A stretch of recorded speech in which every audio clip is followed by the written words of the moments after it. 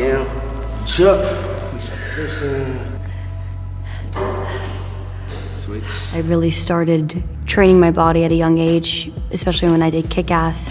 It kind of opened me up to the world of you know, movement. And one thing that I found really empowering was, you know, fight training and boxing and kickboxing. And it allowed me to find not just, you know, strength and rhythm, but also allowed me to find kind of a gravity within myself. No matter how crazy my world gets or my day gets or, you know, my hour gets, it's a, an amount of time that I can kind of take to myself and feel what it feels like to, to connect with my body and my soul and get in my center. I think at a young age, I kind of realized exactly what I wanted to stand for and who I wanted to stand for. And not just speak for myself, but to, you know, use my platform as a, a microphone and a spotlight for those that might not have the ability or the opportunity to have that.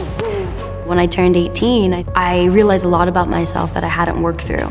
And I jumped into therapy twice a week, and I stopped acting for a year and I got back into working out. I stopped training for like two years before that.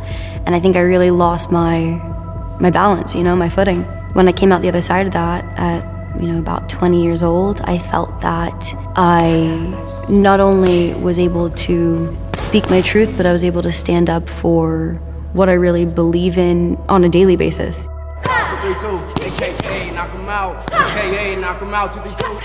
Over the last year, I've gone through a lot.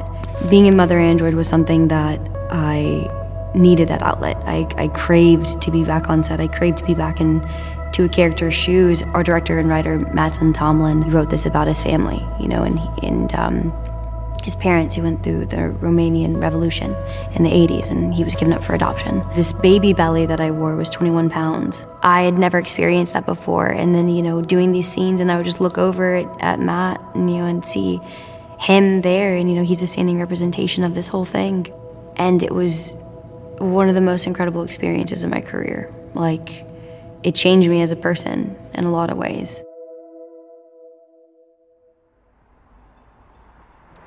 So we are about to go into Brothers Sushi with my friend Mark, who is the head chef and owner of this place.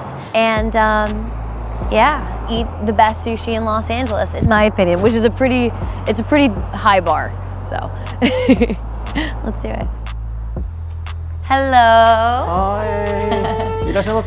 this is Mark. Hello, hello. Oh, hi. Should I come around? Sure, please. I think one of the first places I went when I was 12 or maybe 13 years old for um, Kick-Ass Press was to Japan, to Tokyo.